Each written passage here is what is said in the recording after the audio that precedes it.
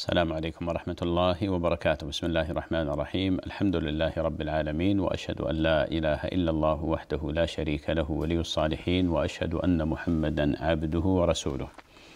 صلى الله وسلم وبارك عليه وعلى آله وأصحابه والتابعين وعلى من تبعهم بإحسان إلى يوم الدين وسلم تسليما مزيدا.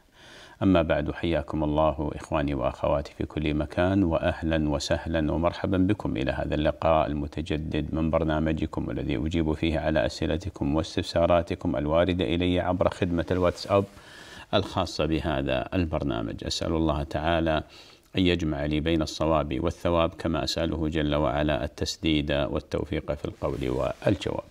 وردت إلي أسئلة كثيرة جدا. أبدأها بسؤال الأخت أم عبد الله من اليمن.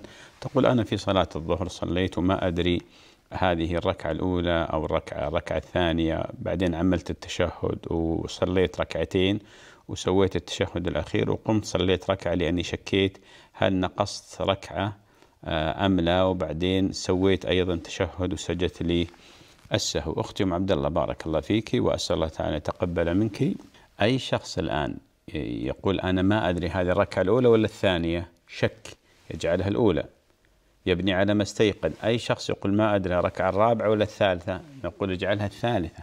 لأن النبي صلى الله عليه وآله وسلم قال إذا شك أحدكم في صلاته فلم يدري أصلى ثلاثا أم أربعا فليبني على ما استيقن. ولذلك أخطأت أختي الفاضلة حينما يعني يعني قسمت الصلاة بمثل هذه الطريقة. الواجب عليك كان ما دام أنك شكيتي تقولين ما أدري الأولى ولا الثانية تجعلينها الأولى وتكملين تكملين وبعدين تسجدين للسهو. أما قضية أني أسلم وبعدين أجيب ركعة لا هذا خطأ بارك الله فيك وأنا أنصحك بأنك تعيدين هذه الصلاة وتتعلمين أحكام السهو في الصلاة. عبد الله من تركيا يقول الإمام عندنا في صلاة الجمعة قرأ الآية 40 من سورة الأحزاب دون أن يقرأ ما كان محمد أبا أحد من رجالكم. إلى آخر الآية ولم يسجد. هل صلاته صحيحة؟ عبد الله من تركيا بارك الله فيك. بالنسبة لصلاتي بالنسبة لصلاة الإمام صحيحة نعم. ما دام أنه أتى بشروطها وأركانها. وأما إذا أخطأ بالسنن فإن الصلاة لا تبطل. ولذلك قراءة ما زاد عن الفاتحة سنة. وليست بفريضة. الفريضة هي قراءة الفاتحة. فما دام أنه آه، حصل الخطأ في آه، السنة آه، فصلاته صحيحة وصلاة من وراءه صحيحة. يبقى قضية هل يسجد للسهو أم لا؟ يعني من أهل العلم من ذهب إلى أن ترك السنة يسن له سجود السهو. ومن أهل العلم من قال بأن سجود السهو متعلق بالأركان والواجبات وهذا الذي يظهر والله أعلم. أم محمد من اليمن تقول من الذي يعقد لأختي بعد وفاة أبي? أم محمد من اليمن بارك الله فيك. بالنسبة للذي يعقد لأختك بعد وفاة أبيك آه، هو ابنها إذا كانت متزوجة وطلقت أو مات عنها وليها.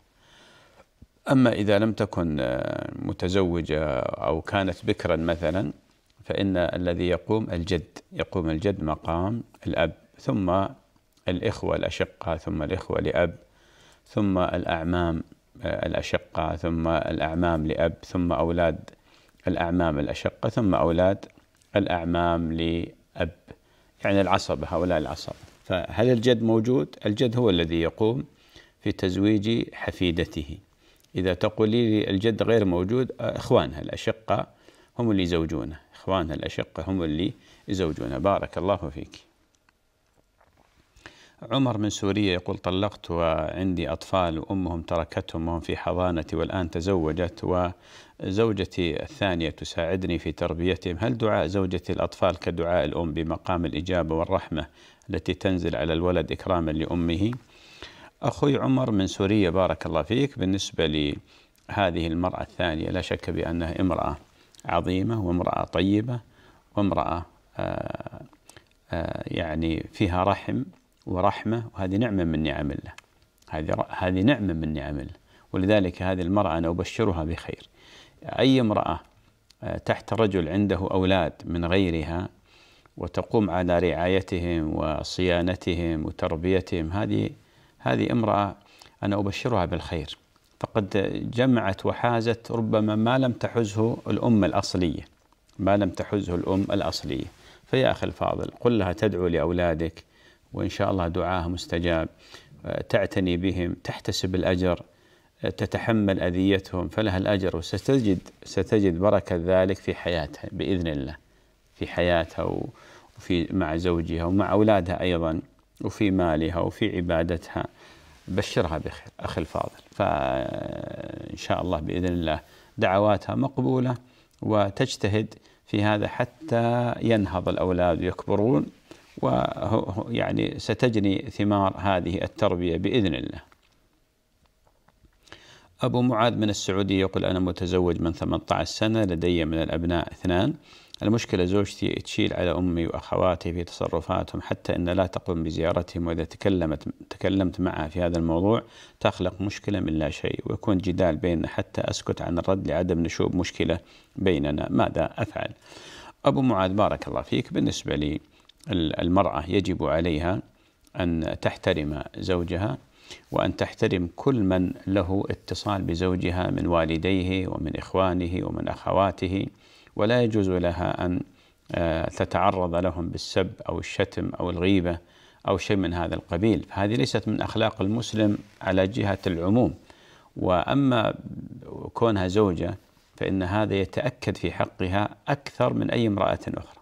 ولذلك يجب عليها أن تتقي الله وأن تخاف الله وأن تتحبب إلى زوجها بإكرام والدته ووالده وإخوانه وأخواته بكف لسانها عنهم وأيضا بالإحسان إليهم ولذلك لا يجوز لها أن تستمر في مثل هذا الطريق السيء آه، وأنت يا أخي الفاضل بارك الله فيك آه، تسألها يعني يعني ما الذي يجعلها تسب الوالدة؟ هل الوالدة تعاملها بفظاظة بقسوة بعنف مثلا انصح الوالدة. قل لها مهما كان هذه أم عيالي. أما إذا كانت الوالدة بريئة الوالدة طيبة الوالدة بركة ولكن هذه المرأة ما تحب آه، أم الزوج مثلا فهذه ظالمة لنفسه ظالمة لنفسه وصدقني يا أخي الفاضل أي امرأة سبحان الله تبيت النية الخبيثة السيئة أو تقصد آه، يعني إيذاء أهل الزوج من دون سبب ستعاقب في الدنيا قبل يوم القيامة. عقوبتها حاضرة. وسبحان الله العقوبة من جنس عملها. سلط الله عز وجل عليها من من يؤذيها الإيذاء الشديد من حيث لا تحتسب ولا تتوقع. ما تتوقع هذا الشخص يؤذيها. ولذلك النبي عليه الصلاة والسلام قال ما من ذنب أجدر أن يعجل الله فيه العقوبة في الدنيا مع ما يدخر له في الآخرة من العذاب من البغي وقطيعة الرحم. البغي وقطيعة الرحم فيا أخي الفاضل اصبر على زوجتك ذكرها بالله خوفها بالله قل هذا الكلام ما يجوز وحرام هذا بغي. وإذا كانت الوالدة والله فعلا آه، تتعرض لزوجتك بالإيذاء انصح الوالدة بلطف وبلين وقول هذه أم عيالي وهذه مهما كان وشيء من هذا القبيل. أما إذا كانت الوالدة بريئة فزوجتك ظالمة ظالمة اصبر عليها انصحها عظها ذكرها. إذا استجابت الحمد لله ما استجابت؟ أنت بالخيار. أنت في حل في في في موضوع بقائها أو عدم بقائها لأن لا خير في امرأة ظالمة. لا خير في امرأة ظالمة. لا خير في امرأة تتعرض لأهل الزوج من دون سبب أبدا فقط لأجل أنها آه، يعني تأخذ زوجها بعيدا عن أهله مثل ما يفعل بعض النساء الحمقاوات تركز على أنها تأخذ زوجها بعيد عن أمه بعيد عن أبيه. هكذا هذا همها وهذا قلقها. شغالة ليل نهار أنها تبعد زوجها عن أهله سبحان الله العظيم. يعني هناك نساء سبحان الله تيجان والله على الرؤوس. ومر معنا قصص كثيرة في هذا البرنامج. المرأة الزوجة هي تقول لزوجها ليش ما زرت أمك اليوم؟ ليش ما زرت أبوك اليوم؟ هي الزوجة تحاسب زوجها إنه ما راح لأبوه وأمه اليوم. هذه هذه هذه النساء اللي فعلا صالحات قانتات حافظات للغيب تيجان على الرؤوس. هذه المرأة اللي, التقية النقية اللي فعلا متربية. متربية خرجت من أسرة ربتها تربية صحيحة أسأل الله أن يحفظ الجميع. عقبة بن سيدي محمد من موريتانيا يقول ما صحة حديث توسلوا بجاهي فإن جاهي عند الله عظيم. أخوي عقبة بارك الله فيك. بالنسبة لهذا الحديث حديث باطل لا أصل له. هذا الحديث حديث باطل لا أصل له ولذلك يحرم نسبته إلى النبي صلى الله عليه وسلم لأن النبي صلى الله عليه وسلم ما قاله وإنما كذبه وإنما اختلقه الأفاكون. والنبي عليه الصلاة والسلام يقول من كذب علي متعمدا فليتبوأ مقعده من النار. أمة الله من كندا بارك الله فيها تقول أنا عندي قريب أسكنته بيتي من غير إيجار لمدة سنتين على نية الزكاة. هل زكاتي صحيحة؟ أختي أمة الله من كندا بارك الله فيك. بالنسبة للزكاة ركن من أركان الإسلام وفريضة من فرائض الدين. له شروط وله أحكام ومن جملة ذلك أنه لا يجوز للإنسان أن يجر نفعا إلى نفسه بهذه الزكاة ولا أن يحمي ماله بهذه الزكاة. وما فعلته خطأ ولذلك هذه ليست زكاة مقبولة. الزكاة فيها أخذ وإعطاء. خذ من أموالهم صدقة تطهرهم آه، وتزكيهم بها. يقول النبي عليه الصلاة والسلام لمعاذ كما في حديث ابن عباس فإنهم أطاعوا لك فأخبرهم أن الله افترض عليهم صدقة تؤخذ من أغنيائهم فترد إلى فقرائهم. كذلك نية. لابد من النية نية إخراج الزكاة. أما قضية أنك تنتفعين بالزكاة بمثل هذه الصورة هذا لا يجوز. فانتبهي وأعيدي حساباتك في هذه المسألة. فاطمة من العراق تسأل تقول هل العين تقع فقط بالسمع بدون رؤية العين مثلا؟ أحد سمع عن عائلة أنها غنية فقط. سمع ما شاف بعينه. هل تقع العين؟ أختي فاطمة من العراق بارك الله فيك. بالنسبة للعين حق كما قال النبي عليه الصلاة والسلام. والله تعالى يقول وإن يكاد الذين كفروا ليزلقونك بأبصارهم لما سمعوا الذكر ويقولون إنه لمجنون قال كثير من أهل التفسير في وجه راجح ليزلقونك يعني يصيبونك بالعين النبي عليه الصلاة والسلام قال العين حق العين حق ولو كان شيء سابق القدر لسبقته العين ولذلك العلماء يذكرون بأن العين آه، يصيب فيها العائن الشخص بالرؤية وبالسماع أيضا بالرؤية وبالسماع. فقد يصيب شخص آخرين آه، ولم يرهم أمامه وإنما فقط بالسماع. ولذلك قال كثير من أهل العلم بأن هذه العين هو نفس يخرج من من آه، صدر الإنسان من عينه كأنها السهم سبحان الله العظيم. وهو أمر يعني مرتبط بالقدر يعني. فإذا قدر الله عز وجل إصابة هذا العين وقعت وإذا لم يقدر لم تصب حتى لو كان بالرؤية. ولكن على الإنسان أن يتقي هذه العين واتقاء هذه العين يكون أولا بتقوى الله سبحانه وتعالى وبالوقوف عند حدوده وبترك محارمه آه، وأيضا عليه بكثرة ذكر الله سبحانه وتعالى وأيضا أن يأمر العائن إذا رأى شخصا يعين أو اشتهر عنه العين يأمره بأن يبرك يقول له قل ما شاء الله قل تبارك الله قل كذا آه، مثل ما قال النبي عليه الصلاة والسلام إذا رأى أحدكم ما يعجبه فليبرك. كذلك صنع المعروف إليه. وهذه مسألة يعني يغفل عنها كثير من الناس. هؤلاء الذين يصيبون في العين حسدة في الغالب حسدة. ولذلك عيونهم ما تشبع فينظرون إلى الآخرين. فلذلك أكرمه وأكرم عين هذه بالعطاء بالهدية بكذا. هذا مما يدفع به الشر. مما يدفع به الشر. كذلك الإنسان يعني يحرص على أن يقطع الذرائع ويسد الوسائل التي أو يقطع الوسائل ويسد الذرائع التي تفضي إلى استجلاب العين.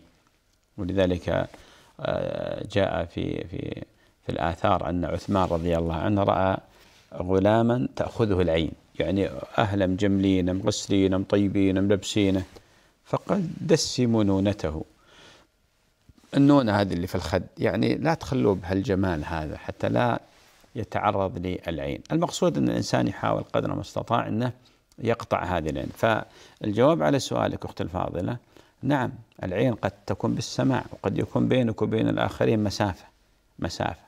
نسأل الله تعالى لنا ولكم الحماية والصيانة. إبراهيم من اليمن يقول آه، كلمة آمين هل هي من القرآن أم لا؟ إبراهيم من اليمن بارك الله فيك بالنسبة لي آمين ليست من القرآن ليست من القرآن وإنما هي سنة مستحبة يقولها الإنسان بعد قراءة الفاتحة سواء كان في الصلاة أو خارج الصلاة. بارك الله فيك. أبو محمد من آه، اليمن يقول هل يجوز أن أقرأ القرآن مما أحفظ أو من الجوال وأنا جنب؟ أبو محمد من اليمن بارك الله فيك بالنسبة لقراءة الجنب للقرآن منعها جماهير أهل العلم من السلف والخلف. ولذلك قالوا الجنب لا يقرأ القرآن سواء كان من حفظه أو من المصحف أو من الجوال لأن حدث الجنابة وقتي.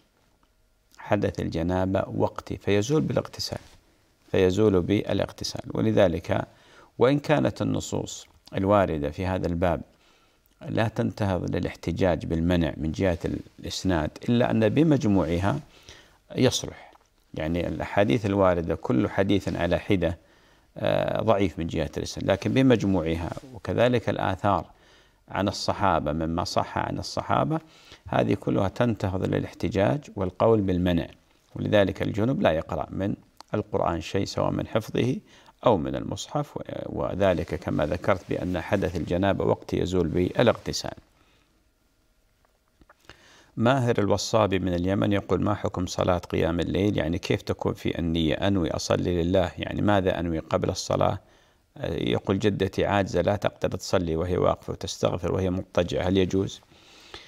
ماهر الوصابي من اليمن بارك الله فيك وتقبل الله منك. بالنسبة للجدة آه، نبدأ بالجواب عليها إكراما لها.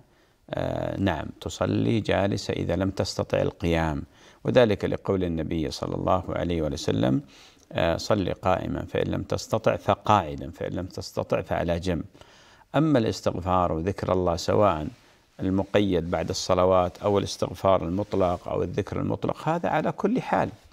قال جل وعلا الذين يذكرون الله قياما وقعودا وعلى جنوبهم ويتفكرون في خلق السماوات والأرض ربنا ما خلقت هذا باطلا سبحانك فقنا عذاب النار. أما قضية كيفية النية النية سهلة يا أخي الفاضل بارك الله فيك. النية محلها القلب. النية هي عزم القلب على فعل الشيء. هذه النية. النية لا تحتاج إلى تلفظ. التلفظ في النية بدعة. يجي واحد يقول نويت أن أصلي قيام الليل. هذه بدعة. النية محلها القلب. طيب كيف تنوي؟ تتوضأ وتقوم تصلي الليل. هذه النية. إذا وقفت بين يدي لما تقول الله أكبر تستحضر أنك قاعد تصلي قيام الليل. تصلي ركعتين. بارك الله فيك يا ماهر. أبو خليفة من الكويت يقول هل من السنة عند دخول البيت قول بسم الله ثم يقول السلام عليكم تطبيقا للآية. فإذا دخلتم بيوتا فسلموا على أنفسكم تحية من عند الله مباركة طيبة. أبو خليفة من الكويت بارك الله فيك. الجواب نعم بالنسبة لي الإنسان إذا دخل بيته يستحب له أن يسمي. نص على هذا الفقهاء نص على هذا الفقهاء. ويذكرون في هذا أدلة وبعضهم الدليل هو القياس. آه، والمقصود بأن الإنسان إذا دخل بيته يقول بسم الله ويسلم سواء كان البيت فيه آه، يعني أحد أو لم يكن فيه أحد. فسلموا على أنفسكم. على أنفسكم يعني على إخوانكم على من في البيت لأن لأن هذه من إطلاقات النفس من معاني النفس.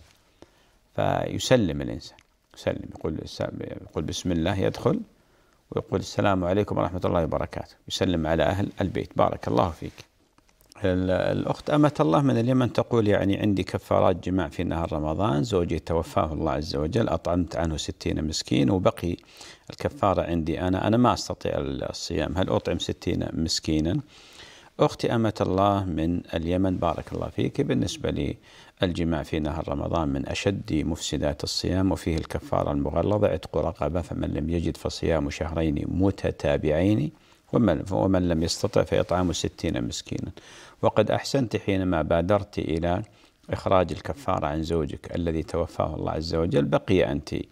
هل فعلا أنت غير قادرة على صيام شهرين متتابعين؟ إذا قلت نعم تنتقلين إلى إطعام ستين مسكينا كما جاءت جاءت بذلك النصوص عن النبي صلى الله عليه وآله وسلم. أم البنين من موريتانيا تقول أنا بنت عمري 23 سنة كنت قد نذرت في صغري وكان عمري إذ ذاك 13 سنة أن لا أترك صلاة راتبة الظهر والعصر ولكن مع الأسف لم ألتزم بها. أصليها أحيانا وأدعها. هل إذا تبت من هذا يكفي أن نلتزم بها في المستقبل؟ إلى آخر ما ذكرت. آه، أختي آه، أم البنين من موريتانيا. بارك الله فيك. أولا بالنسبة لك إذا كنت أثناء النذر صغيرة غير بالغة ما بلغت بعد فإن هذا النذر لا اعتداد به ولا يترتب عليه شيء من الأحكام. إذا كنت صغيرة يعني لما قلت لله علي لم تكوني بالغة. وتعرفين البلوغ بلوغ المرأة آه، تشترك مع الرجل وتزيد عليه الحيض. تزيد عليه الحيض. أنت 13 ما بلغتي 15 سنة. هل حطي في هذه في هذا السن؟ آه، إذا قلت لا فأنت صغيرة. ما عليك شيء. إذا كنت بالغة بلغت نعم يترتب عليك ذلك عليك أولا الاستغفار والتوبة إلى الله لإخلالك.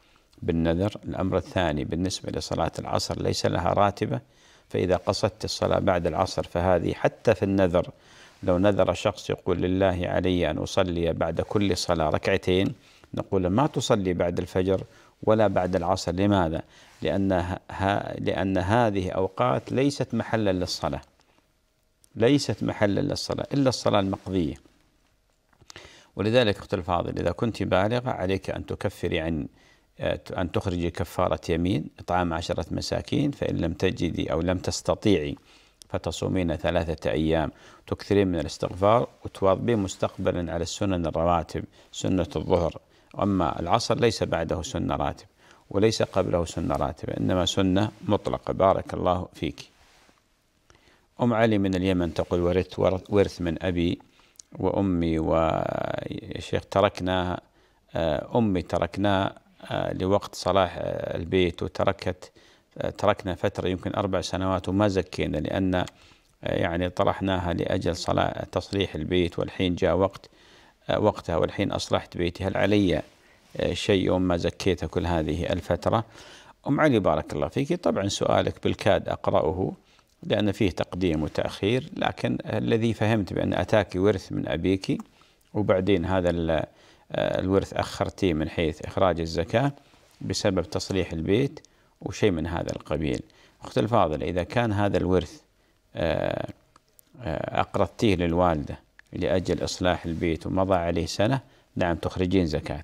أما إذا أنت تبرعت به للوالدة وراحت آه، كملت فيه البيت وأصلحت فيه البيت خلاص تحول هذا إلى شيء آخر ما فيه الزكاة. بارك الله فيك.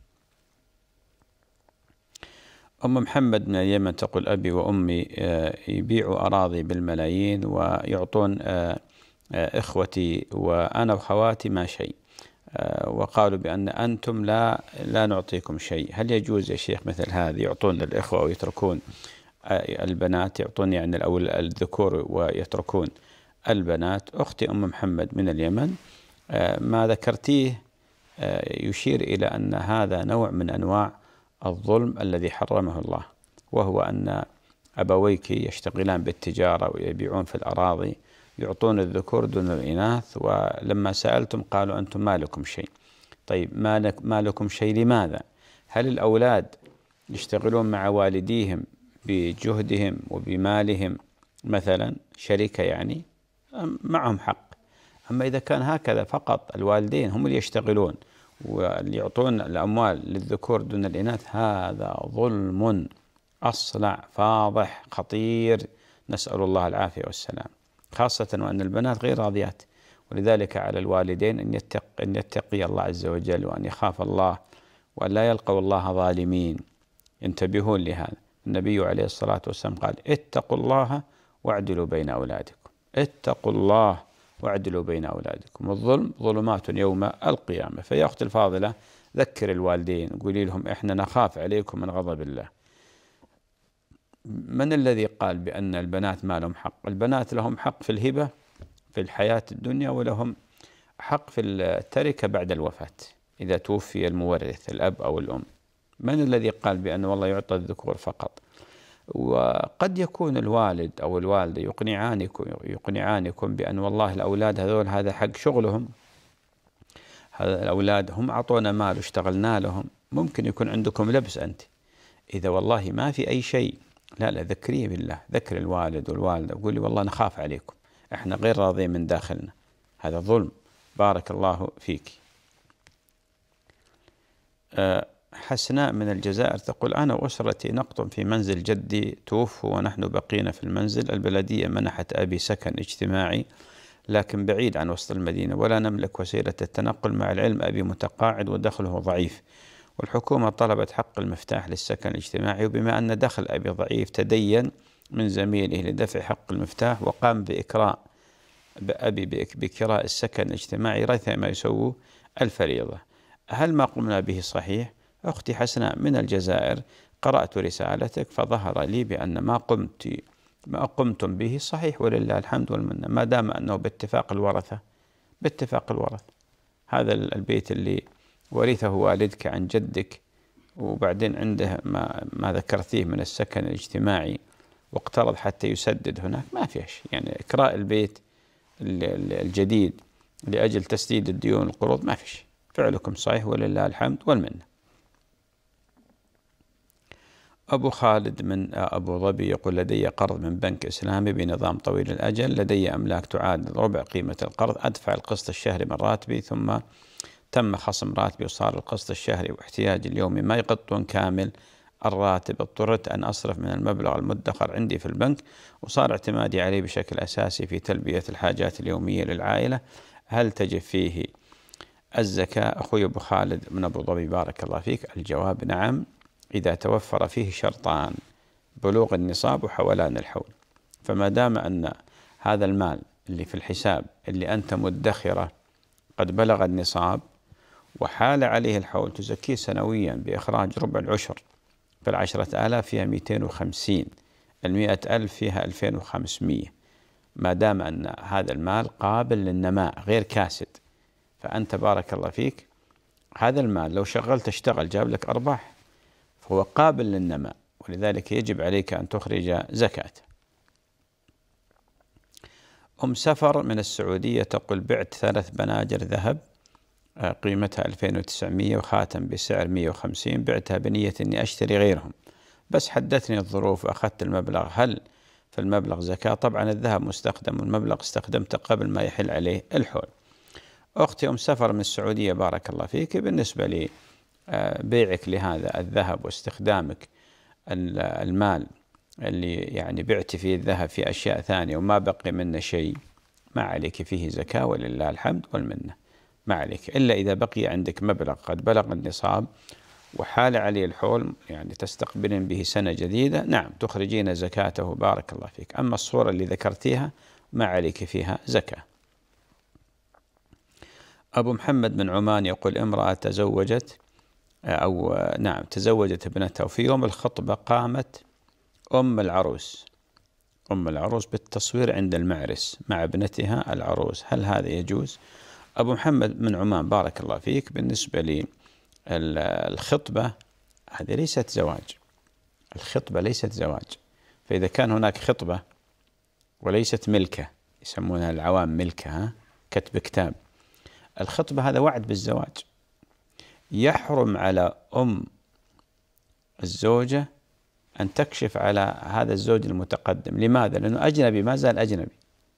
ما زال أجنبيا. أما إذا كتب الكتاب عليها حتى ولو لم يدخل بها حتى ولو لم يدخل بها فإن أمها تحرم عليه. أم الزوجة هذه أم البنت تحرم عليه. يجوز أنها تخرج له وتكشف عليه مثلا. لاحظت يا أخي الفاضل؟ فالعقد على البنات يحرم الأمهات والدخول على الأمهات يحرم البنات. فأنت ذكرت في سؤالك تقول الخطبة يعني ما تم العقد. هذا اللي أفهم أنا. هل عندكم شيء أخي الفاضل في عمان أن الخطبة هي الملكة؟ إذا كان هذا يجوز. ما في شيء. بارك الله فيك. أم عبد المنان من الشارقة تقول هل يجوز إعطاء زكاة الزكاة لحالات المرضى اللي محتاجين علاج.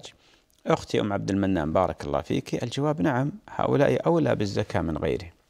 مرضى ليس عندهم القدرة على مصاريف العلاج والمستشفيات والعمليات هؤلاء أولى بالزكاة من غيرهم.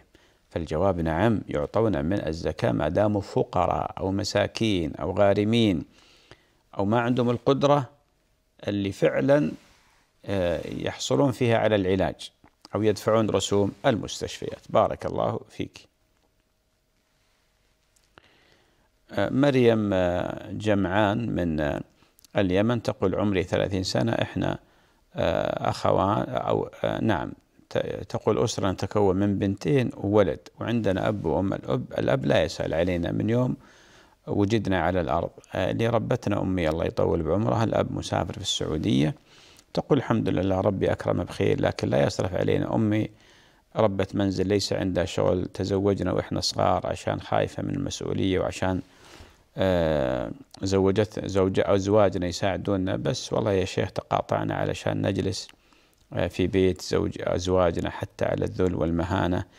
إلى آخر ما ذكرت قالت بأن فقدنا والدنا. أعمامنا قالوا أن أبوكم عايش وشيء من هذا القبيل. تقول يعني لو نتصل عليه ما يرد. وأيضا الوالدة آه، قالت بأنها تزوجت. وأيضا آه، يعني قالت أنتم خرجتم من ذمتي. هل هذا يجوز؟ أختي مريم يعني ما ذكرتيه والله مؤلم. ما ذكرتيه والله مؤلم. يعني حالة من التفكك حالة من التشرذم لهذه الأسرة. آه، مما يدل على أن آه، الأب للأسف الشديد لم يراقب الله عز وجل في أسرته ولا في عائلته ولهث وراء الدنيا وركض وراءها آه، على حساب الأسرة وعلى حساب هؤلاء البنات. ما أدري ماذا أقول لك يا أخت الفاضلة لكن الإنسان عموما يعلق نفسه بالله عز وجل لأن من علق نفسه وقلبه بالله عز وجل فمعه الفئة التي لا تغلب. والله ناصره. وحاميه بإذن الله. فإذا اتقيتم الله وأديتم الفرائض وعملتم على ما يرضي الله سبحانه وتعالى أبشري بخير. ستجدين بإذن الله النصر والسعادة والعافية. وإياك أن تجعلي محور حياتك هذه القضية. يعني افترضي افترضي وما أحب والله أقول هذا الكلام أن أبوك مات. ماذا تصنعين؟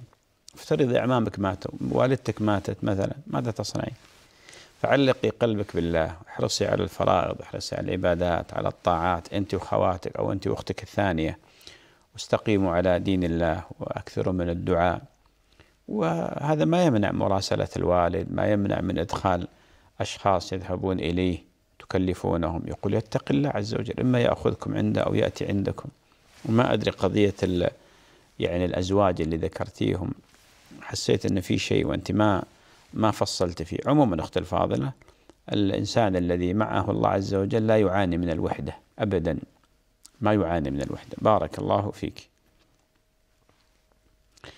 أم أحمد من عجمان تقول أحبيت أستفسر عن صلة الرحم. تقول أنا الأخت الكبيرة عمري فوق الستين عندي أخ من الأم والأب هو وهو أكبر مني وأنا على تواصل معه ولله الحمد. لكن لدي إخوة من الأم لدي إخوة من الأب. لا يوجد تواصل بيننا. رغم عدة محاولات مني ولكن من دون فائدة. وأنا منذ صغري أبي وأمي منفصلين وأنا وأخوي عشنا مع أمي وأبناء أب أمي لكن لا يوجد تواصل بيننا. أختي أم أحمد من عجمان بارك الله فيك وأسأل الله تعالى أن يكتب لك هذا أجر هذه الصلة والرغبة في الصلة. وأنت على خير أنت على خير. الحمد لله ما دام أن هناك من تتواصلين معه من أرحامك فهذه نعمة من نعم الله. أما الصاد هذا الذي لا يريد أن يتواصل فهذا عليه وزر القطيعة وإثم القطيعة. نسأل الله العافية والسلام. وأنت لك الأجر والثواب. كلما حرصت على مد جسور التواصل كلما حرصت على مد حبال الوصل معهم هم يرفضون لك الأجر وعليهم الوزر. لك الأجر وعليهم الوزر. استمري. استمري في وحاولي حاولي وحاولي أن ترسلي لهم شيء من الآيات القرآنية الحديث النبوية لعل الله عز وجل أن يفتح على قلوبهم. نسأل الله تعالى أن يكتب لك الخير حيث كان. آه، أبو عبد الله من الإمارات يقول أنا موظف أستلم راتب شهري الحمد لله أنا أحسب كل سنة في شهر رجب ما تجمع في سنة وأطرح منه ما علي من التزامات مستقبلية مثل أقساط المدارس. التي لم تدفع وأقساط إيجار السكن التي لم تدفع ثم أحسب قيمة الزكاة على ما تبقى. هل فعلي صحيح؟ أبو عبد الله بارك الله فيك وتقبل الله منك. بالنسبة لي أخي الفاضل للراتب الشهري طبعا الأصل أن الراتب الشهري إذا أدخل في الحساب الذي يزكى آه، منه ما حال عليه الحول. الذي يزكى منه ما حال عليه الحول يعني الذي مضى عليه 12 شهر قمري. أما الذي لم يحل عليه الحول ما تجب فيه الزكاة. لكن نحن ننصح دائما أن من يدخل إلى حسابه هذه الرواتب الشهرية فإن الحسابات صعبة جدا أنك تحسب كل شهر في شهر آه، في في في في وقته يعني. فنقول له زكي في آخر السنة مثل ما ذكرت في شهر رجب. فإذا كانت نيتك بأنك ستخرج ستسقط الأقساط مثل رسوم المدارس الجاية ومن أموال لم يحل عليها الحول. نعم يعني مثال أنت الآن يدخل أفترض حسابك شهريا عشرة آلاف عشرة آلاف. الآن في رجب يعني سنة كامل أصبح عندك مية وعشرين ألف مية وعشرين ألف. الذي حال عليه الحول عشرة آلاف الأولى فقط. شعبان يحول على الثانية عشرة آلاف الثانية وهكذا. فأنت تقول والله أنا الآن آه، عندي مثلا إلى ستة أشهر. هناك عندي رسوم دراسية. فأنا بدفع الرسوم الدراسية علشان ما يحول الحول على القسط الأول والثاني والثالث بهذه النية. يعني قصدك تقول أنا أخصمها وتنوي الأشهر الأولى. وبعدين تخرج الزكاة. ما في بأس في هذا ولله الحمد والمنة. فاطمة من الشارقة تقول أخوي الكبير تكفل بأخ الصغير في كل شيء لأنه ولد بعد وفاة أبي. تكفله في كل شيء دراسة وزواج ودراسة أولاده مع العلم أن أخ الصغير لا يعمل أبدا ولا يريد. أولاده يعملون ويريد أخاه أن يعطيه دائما ويقول أخي تركني بدون عمل ودائما يدعي عليه. مع أن أخي الكبير لم يقل له لا تعمل أريد نصيحة.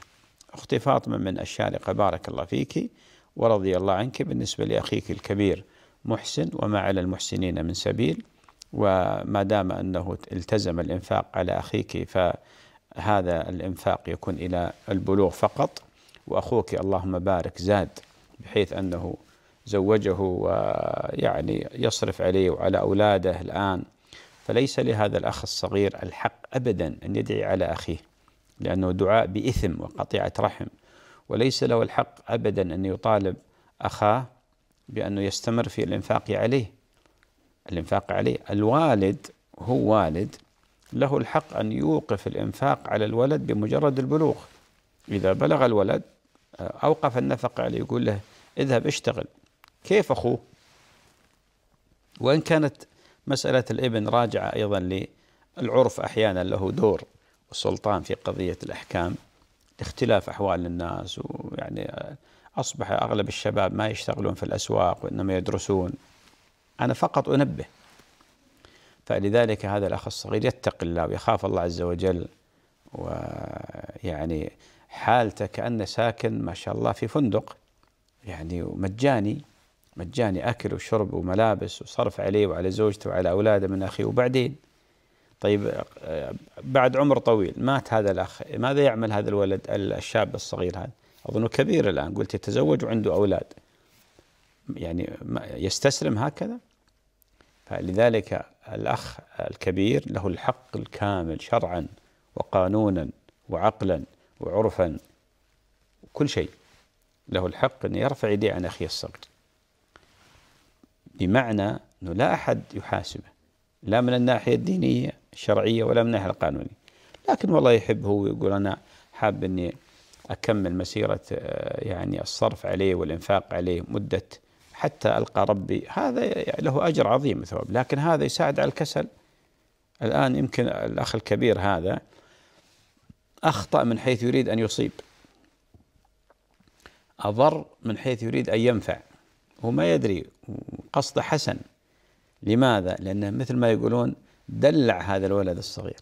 أصبح رجل متزوج ويعني آه، يطلب طلبات يعني الصغار.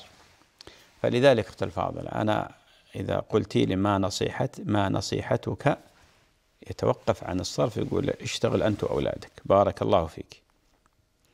العنود من السعودية تقول هل يجوز صيام القضاء في شهر رجب؟ العنود من السعودية بارك الله فيك. الجواب نعم يجوز القضاء في رجب وشعبان وفي بقية الأشهر إلا رمضان. رمضان عبادة يشتغل فيها المؤمن ولا يدخل عليها عبادة من جنسها ولذلك الفقهاء يقول المشغول لا يشغل ما يقضي في رمضان. أما بقية الأشهر نعم يقضي ولله الحمد سواء في آه، رمضان أو في عفوا سواء في رجب أنت قلت رجب في رجب أو في غير رجب. لكن يتجنب العيدين وأيام التشريق. ما يقضي في يوم عيد الفطر ما يقضي في عيد الأضحى وأيام التشريق وإنما يقضي بعد ذلك. شمس آه، من الأردن تقول عندما يتقدم لي عريس أستخير وعندما أشعر بتوتر أقول يا ربي لا تضيعني. آه، فاللي يسمعون يسمعني يقولون لي الله لا يضيع أحد وهذا خطأ فأرد عليهم بأني في ذلك القول أحس بضعفي لربي وحاجتي له وذله وليس قصدي إنقاص في حق الله تعالى لكن أشعر بفقري. آه، شمس من الأردن بارك الله فيك. بالنسبة آه، لمثل هذا الكلام الذي قلتيه لا حرج عليك فيه. فيجوز الإنسان يقول ربي لا تضيعني. ربي لا تضيع. يجوز الإنسان يقول ربي لا تضعني لا تضيعني. ربي لا ت... لا تت يعني تتركني ربي لا ت... يعني مثل ما يدعو الإنسان آه، ربه سبحانه وتعالى أن لا يكله إلى نفسه طرفة عين. لا اللهم لا تكلني إلى نفسي طرفة عين. ما في بأس ولله الحمد وليس في هذا إساءة أدب مع الله سبحانه وتعالى. أبو إبراهيم من هولندا يقول ابني عمره ستين سنة عاقل والديه شديد التعصب لا يحب أن يتحاور معنا يشتمنا يرفع صوته علينا لا يأكل معنا ولا يجلس لا صديق له ربينا على الصلاة منذ الصغر لكن بدأ يترك الصلاة. أصيب بمرض الصدفية منذ 14 سنة ربما أثر عليه. نحن في حيرة معه كيف نتصرف معه؟ آه، أخوي الفاضل أبو إبراهيم من هولندا واضح بأن ابنك هذا الذي عمره ستين سنة عنده مشكلة. واضح أن لديه مشكلة واضح. الأمر غير طبيعي. ربيت على الصلاة وكذا والآن بلغ يعني من العمر عتية ومستمر في العقوق مستمر في كذا. هذا يدل على أن لديه إما مرض آه، روحي أو مرض نفسي. والمرض الروحي قد يكون مس ولذلك يرقى. وكذلك المرض النفسي كذلك يرقى. قد تكون عنده عقدة نفسية صدمة ردة فعل معين مثلا.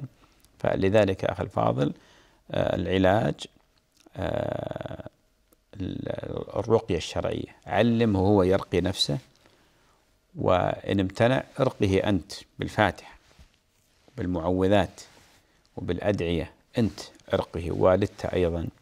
أو ائتي بإمام المسجد أو رجل صالح يقرأ عليه.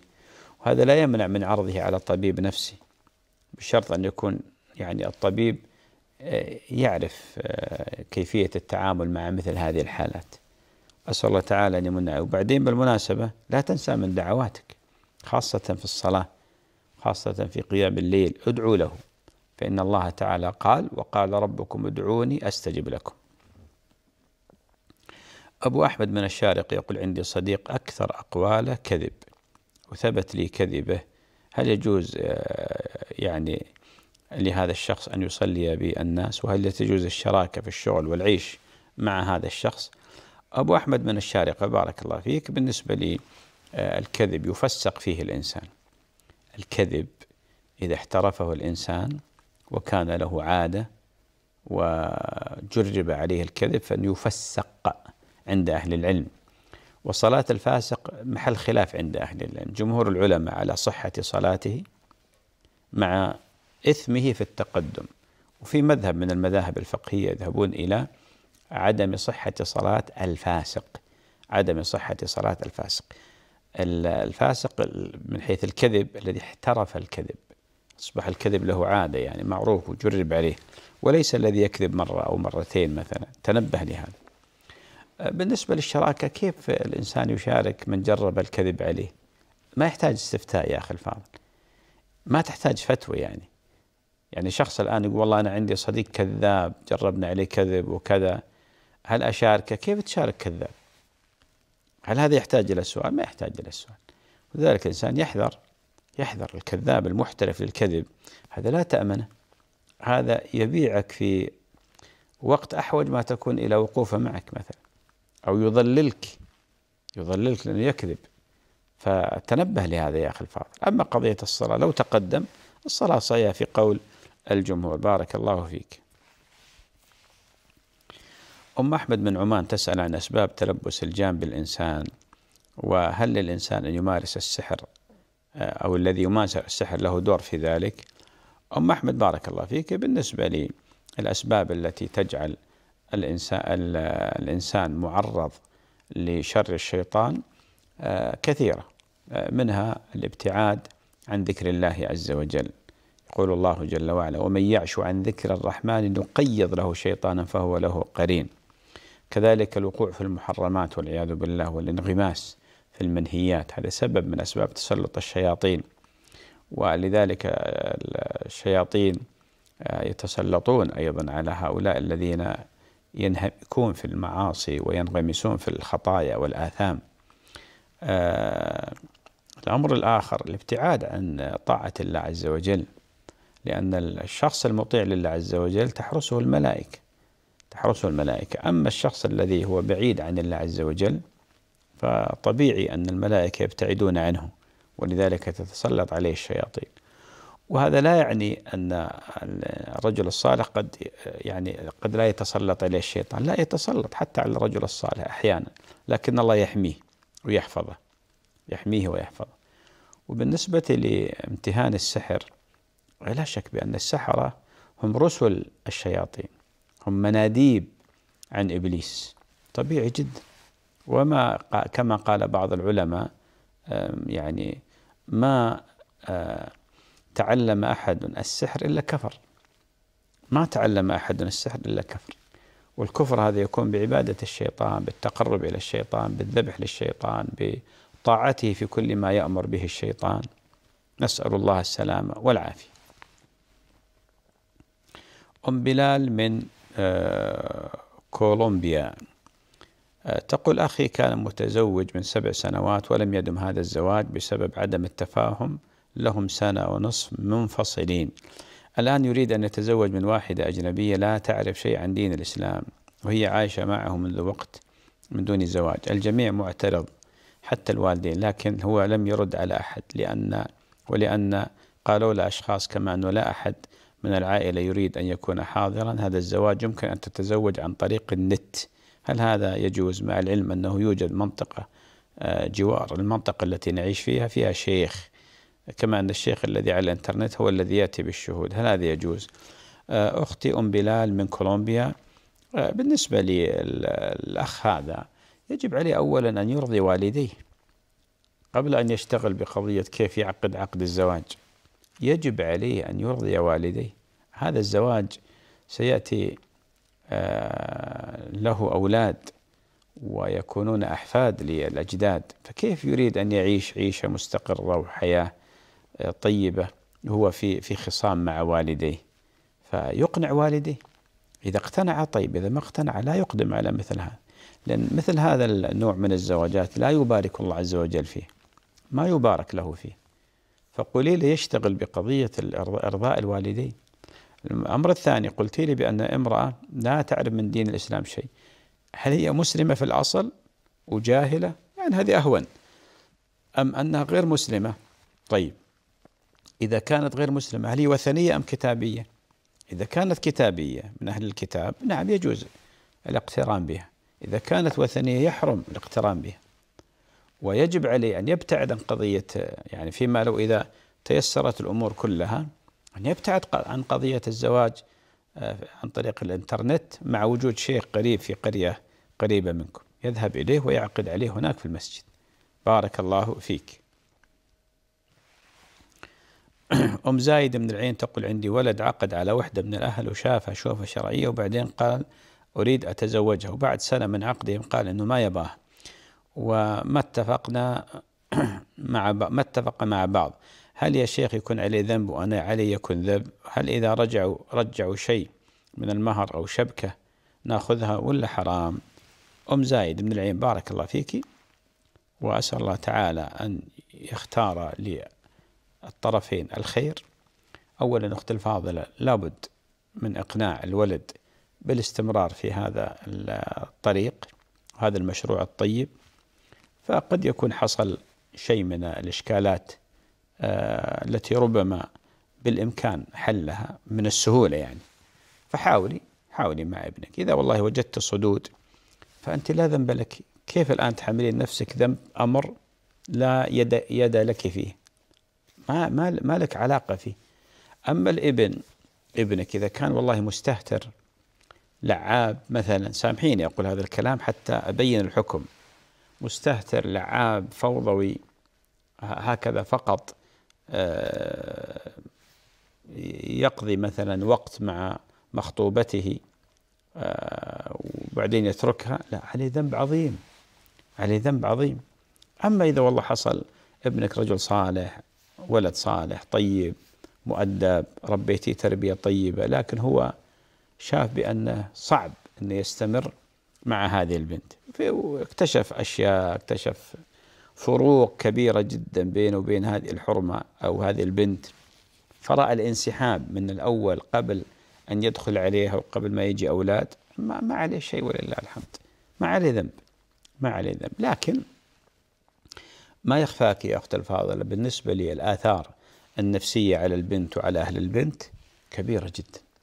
ولذلك يوجد في بعض المذاهب الفقهية عندنا ما تلزم به المحاكم الزوج الذي آه، طلق زوج أو ترك مخطوبته أو طلقها قبل الدخول تلزمه بأشياء تلزمه بأشياء. حتى قالوا المخطوبة إذا تأثرت نفسيا ولا يعني التي طلقت بعد العقد وقبل الدخول هذه أحكامها معروفة. الكلام على شخص خطب امرأة وبقي سنة تقولين سنة كاملة ثم تركها فجأة. الآثار النفسية على البنت وعلى أهلها قوية. لذلك أخت الفاضلة يعني أنا أنصحك بأن يعني ما ذهب من هدايا ما ذهب من هدايا تتركين أفضل تطيب لخاطرها وجبر لخاطرها ولقلبها. قضية المهر إذا دفعتم المهر ممكن تأخذون المهر. لأنه ما حصل عقد. أنا يعني فهمت من سؤالك أنهم مخطوبين. وفي نصيحة أوجهها لكل من يشاهدني.